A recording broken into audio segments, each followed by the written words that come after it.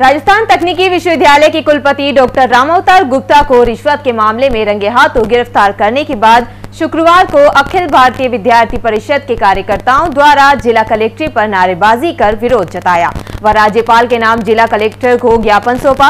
अखिल भारतीय विद्यार्थी परिषद के महामंत्री गुंजल झाला ने कहा कि राजस्थान तकनीकी विश्वविद्यालय के कुलपति डॉक्टर रामावतार गुप्ता को एसीबी की टीम ने पाँच लाख की रिश्वत लेते रंगे हाथों पकड़ लिया है। भ्रष्टाचारी कुलपति ने पूरे शैक्षणिक जगत को कलंकित करने का कार्य किया है। ऐसे में उनकी मांग है कि विश्वविद्यालय के भ्रष्टाचारी कुलपति को तत्कालीन प्रभाव से निष्कासित कर कठोर कार्रवाई की जाए। साथ ही कुलपति के कार्यालय के दौरान विश्वविद्यालय में जितने भी कार्य हुए हैं, उनकी उच्च स्तरीय जाँच की जाए और घोटाले में शामिल अन्य सभी प्राध्यापकों पर भी कार्रवाई कर उन्हें निष्कासित किया जाए।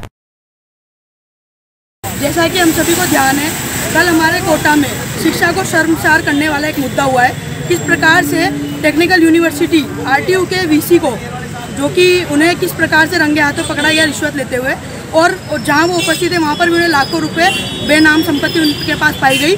तो किस प्रकार से उनको मंत्री के दोस्त होने का, मंत्री के करीबी होने का, जो कि सुभाष गर्जी जो मंत्री हैं, तकनीकी शिक्षा के, उनके साथ होने का एक प्रॉफिट उन्हें मिला है और जब इनकी पहले भी नियुक्ति की गई थी, तभी भी बहुत सारे प्रश्न चिन्ह इस पर उठे थे।